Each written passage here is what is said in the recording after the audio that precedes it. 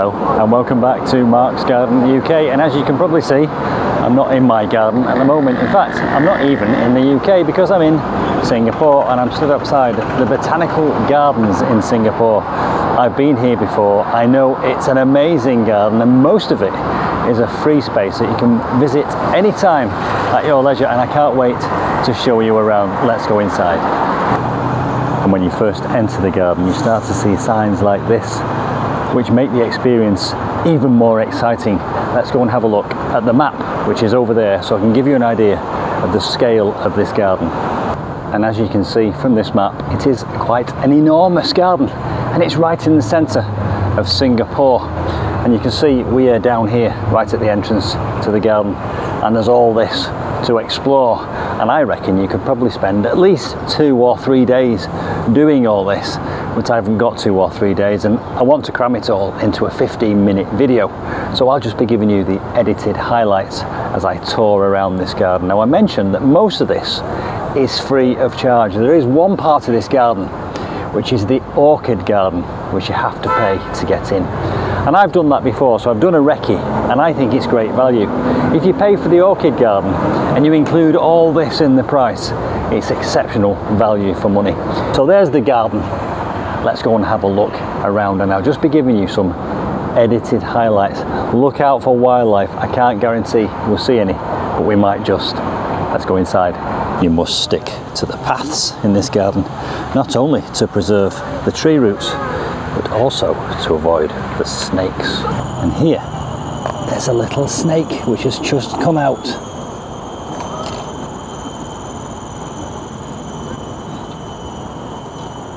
It has not poison. And here we have one of the native snakes which is looking around for insects, I believe. Absolutely incredible. Imagine if that was on your doorstep when you woke up in the morning.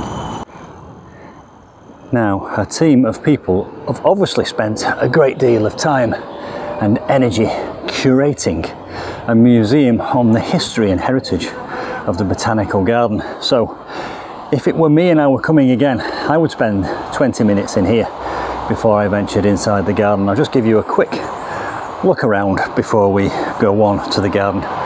Free admission, of course. In here they tell you all about the history of the garden and how it was constructed and whom by and you get to find out a lot of information which would surprise you and a lot of the work here was done by actually um, convicts this was a penal colony and then um, coolies and uh, it tells you all about that in this exhibition and it's worthwhile knowing all this information because it gives you the context as you walk around the garden. I would say, having visited it, they're already well on the way to doing this. It's an incredible garden. Plenty of clear signage here. Now I've walked from my hotel, but you could come here on the MRT, which is their underground railway system. And it's so clean and well organised and safe. I would recommend it to anyone. Now there's two MRT stations that service this. There's this one here, and there's also one at Tanglin Gate. So take your pick, and if you come on that one, you'll end up at the other end of the garden. Let's continue on our journey. This is the Swan Lake, perfectly manicured, but at the same time full of wildlife. Here, casually walking along the path beside me, is a small lizard. I think it's a monitor lizard and I know there are larger specimens, but here's a little one just for now. And there is that sculpture of swans on the lake. Quite a different type of wildlife in this garden, and it lives side by side with humans. And I did see a video on television once of otters living in the city in Singapore, and apparently there are otters in this Great Lake. Uh, so much so that they actually give you advice on what to do if you see an otter. But basically, the advice is keep away. And we've also been visited by some turtles or terrapins, I suspect, and a very tame pigeon.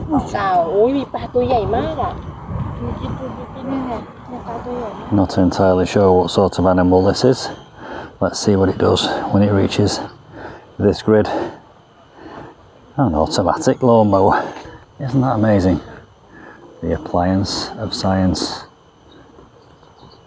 And round it goes. It has quite a job to do. And here is a close up view of one of our two swans amongst a swan or goose sculpture. The other one is gently drifting around the lake in the distance. This is one of the little native birds here, which pollinates some of the plants. And these plants, in some of their native environments, are pollinated by hummingbirds. This is not a hummingbird, I believe it might be what they call a sunbird. But there it goes, gathering nectar and at the same time pollinating these beautiful plants. It says down here, it's a canna lily. Yay! Something we've got at home. Cannas, wonderful. Now we're still very much at the start of this garden tour at the Botanical Gardens in Singapore. I don't want to give you the impression that it's all perfectly manicured like this. I mean, some parts of this do remind me of those golf courses you see on television when you're watching the Open. But it isn't all like that. There are some wild areas, and we'll go and see those in a moment. Uh, but a lot of it is very well maintained like this. And for the main part, a lot of the garden does have these wide paths. So if you were on a motorised scooter or in a wheelchair, you could probably make a good hash of getting around all of this space.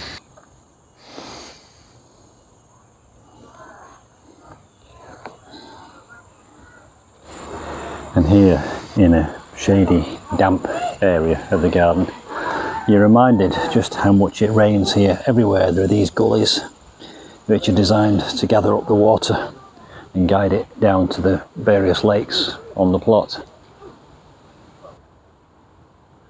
I was just standing here reading this informative sign about nutmeg when I heard a rustling at my feet.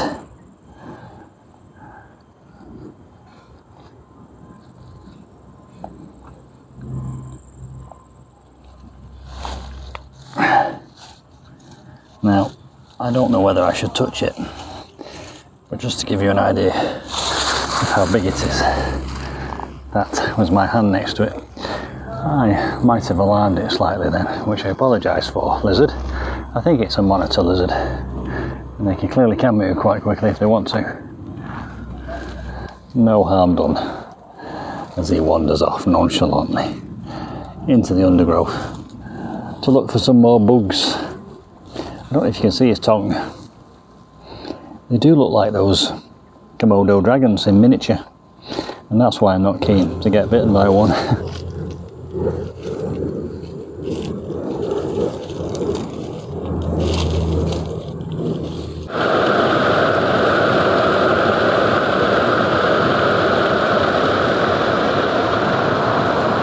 and just here, next to the drop off and taxi rank and car park, Here's a garden dedicated to gingers.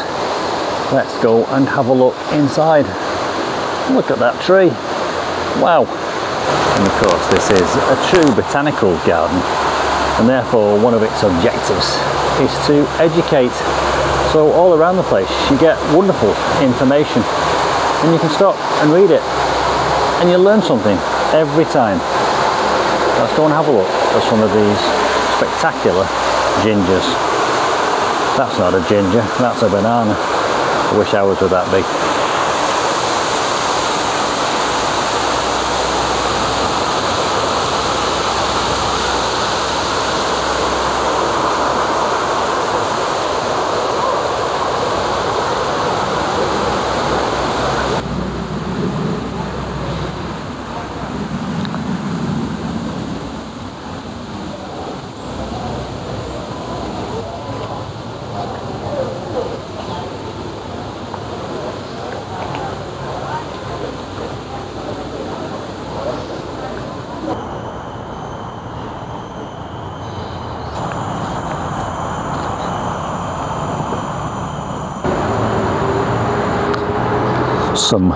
Colocasia here. Not unlike our pink china, but I don't think they are pink china because pink china have pinker stems. But look at them here. I bet they don't have to dig their colocasias up in the winter time. Some type of tree fern over there. Obviously not Dicksonia. I think we'll see some Dicksonia later in the cool house. And here, towering above me, an enormous palm of some description, which starts off with these beautiful red stalks, which eventually turn into kind of bamboo like trunks. And here's the name. Most of the plants here are labelled quite conveniently so you can see them. Look at that, isn't it stunning? Very prehistoric in this area of the garden. I feel like I'm in Jurassic Park. Look at the size of that leaf, amazing. Amazing that this is in a city right next to a road which is just on the other side of that hedge and you can probably hear it. But here, we're in a jungle rainforest and all around us I can hear the sound of what I think are little beetles in the trees. It's like a constant ringing bell. Can you hear it in the background? I'm just going to remove the microphone for a moment to see if you can hear the bugs or beetles or crickets.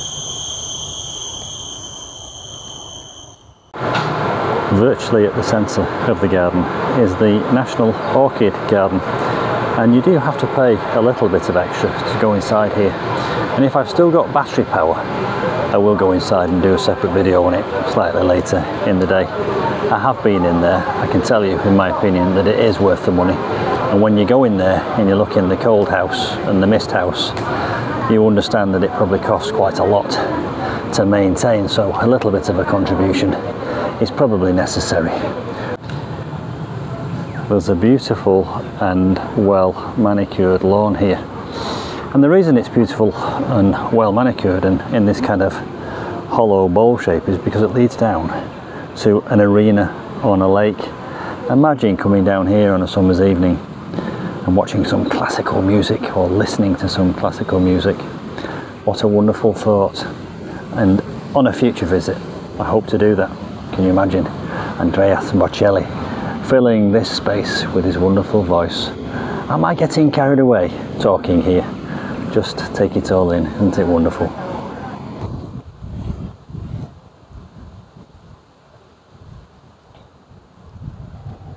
I think it's safe to assume you don't need to have to worry about people invading the stage if you're performing on this platform. Look at this lake, some enormous water lilies, and there's the view up the lawn. But imagine if you were here and you managed to perch yourself on that grassy slope there. Imagine the view you get of that stage.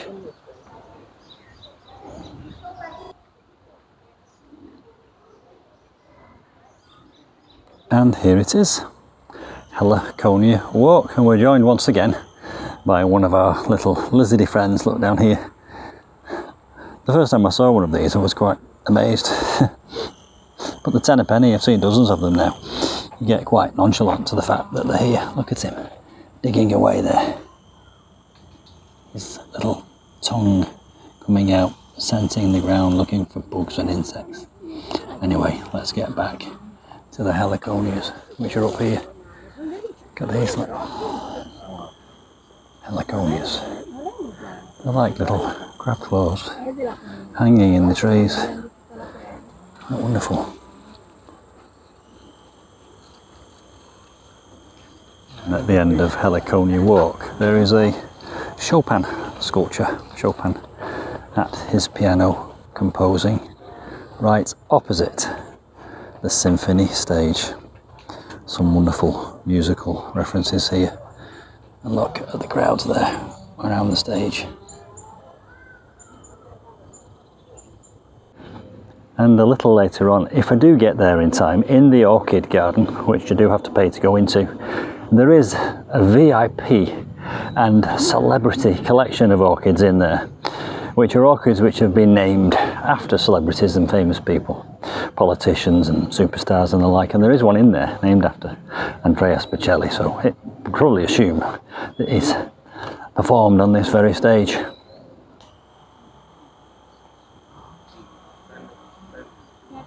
I'm now entering a part of the garden which is for bougainvilleas and bamboos and there's a collection of bamboos of course it wouldn't feel right coming to this part of the world and not seeing bamboos but whenever I see a bamboo of this size.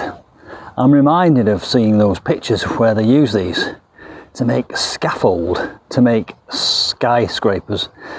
The bamboo trunk is such a strong structure um, circular with those things that go across periodically that they actually make bamboo scaffold and they can use that scaffold or they have done in the past to, to make uh, skyscrapers isn't that an amazing thought and you can see why because just look how tall that is there's actually a human being walking along that path there and you'll see as that person emerges as I pan up just how tall those bamboos are. This is a little bridge across the corner of the Eco Lake and I've just spotted that one of those terrapins has come out to bask. There he is, down there. Can you see him? Now I can remember when I was a child, used to be able to buy these in the local pet shop. They were about the size of a 50 pence piece. That one there is around about, I would say, 10 inches long. And when you bought those as a child, in your in your bedroom and you had them in a little fish tank and they were about that big i remember stories of people releasing these into the wild and you can still see them in some ponds in the warmer areas of the uk but here there's dozens of them in this lake and they probably live all year round outside in this lovely warm climate just bumped into this very interesting chap on this fascinating device it's a video laser scanner and what he's doing is he's scanning all the trees in the garden. They do this every six months to get the size and the shape. And I guess they probably check on the health of the trees and take remedial action if necessary. Look at that. What an incredible bit of kit. Sorry, what's your name again? Hulwan. Hulwan. Yeah. Nice to meet you and thank you for letting me video you. That's incredible.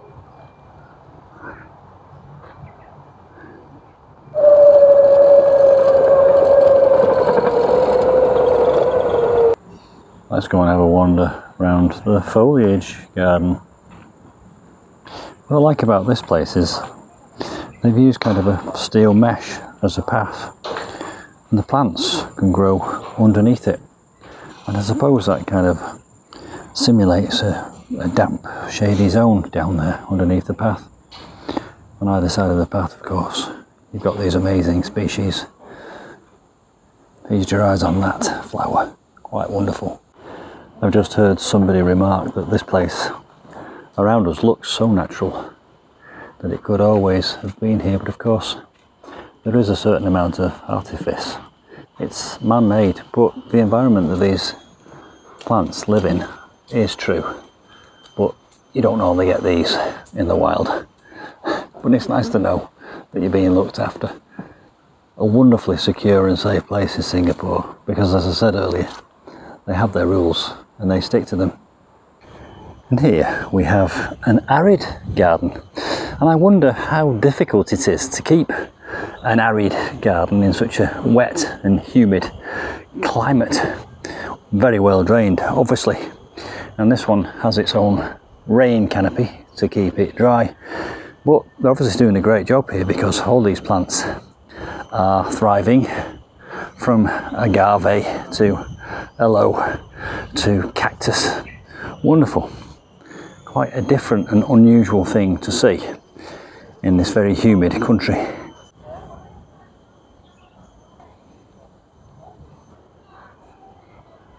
And you can walk through the centre of this space in this kind of glass tunnel. And if you're tall enough, you can peep over the top. The thought of the whole family here, there's even a little children's garden. I'm not going to go in, but I get the feeling that it's basically a large garden on a small scale, and it's great really to introduce the younger members of the family to the whole concept of gardening and being environmentally friendly. So there it is, Jacob Ballas Children's Garden underneath that bridge, and it has the feel of entering a kind of a Jurassic Park. I shall go and explore the rest of the garden and leave that to my imagination. Everywhere you're reminded of the work that goes into this garden and maintaining it. And this is interesting, look at this here. It seems that they've caged off some of the fruits of this tree.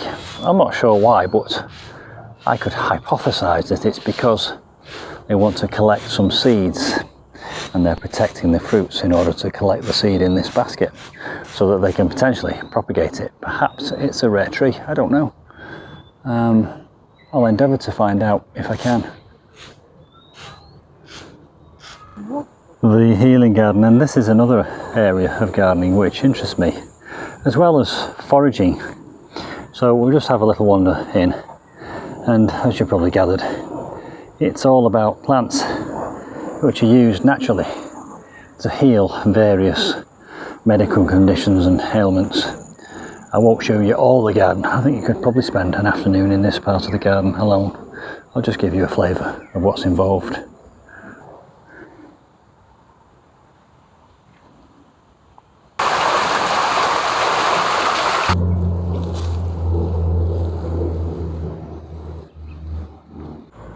Now this is definitely an idea I'd like to copy at home.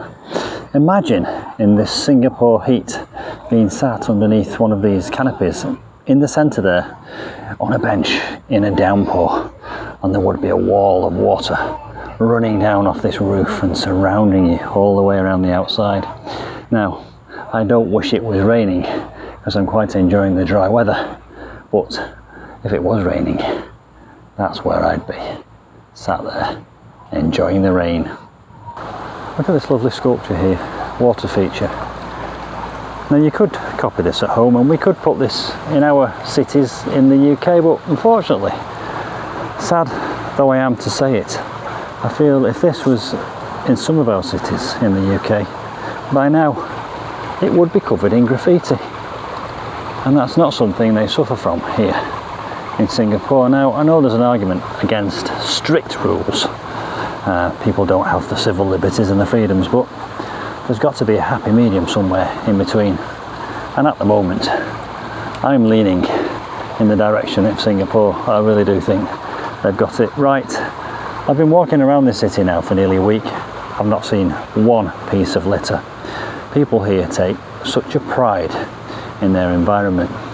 And also, they adhere to the rules, which are quite strict, and the penalties are quite severe perhaps that's what we need a little bit more of. Anyway, I'll get down off my soapbox and continue to enjoy this garden. Again, because it's a botanical garden, they're always doing research. This lady is micro propagating orchids. Fascinating. And you get to see this through a glass screen. They really are taking gardening to the next level. Just look at this. Absolutely incredible. Amazing leaves. Look at the size of these plants.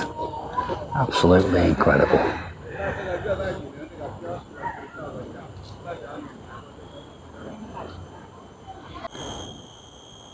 The Meng Kulang is one of the heritage trees in the garden and it's noteworthy because it has these highly fluted roots. Can you see them?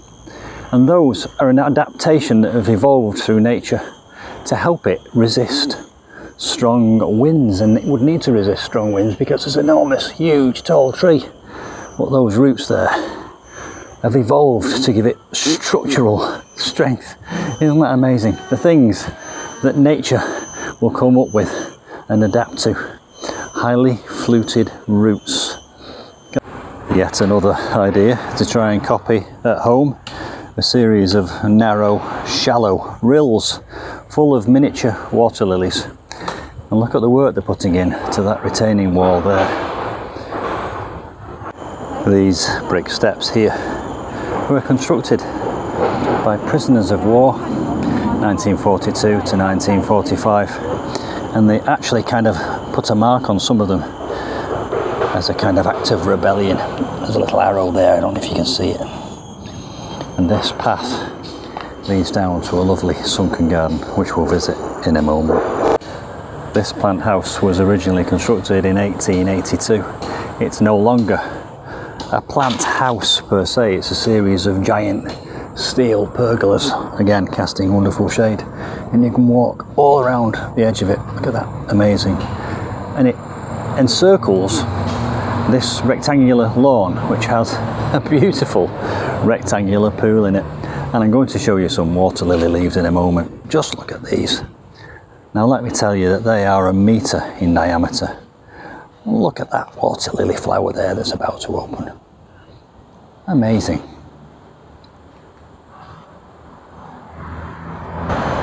Well, I'm afraid that concludes this whistle stop tour of the botanical gardens in Singapore. There is so much more to this garden than I've been able to include in this short video. So if you do get a chance to get to Singapore, please do visit this garden.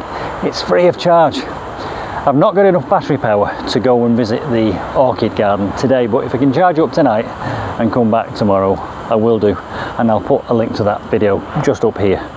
Uh, if not, then I'll have to do it next time I come. Hope you enjoyed it. I'll see you back home in the UK very soon for some more gardening adventures. Bye for now from Singapore.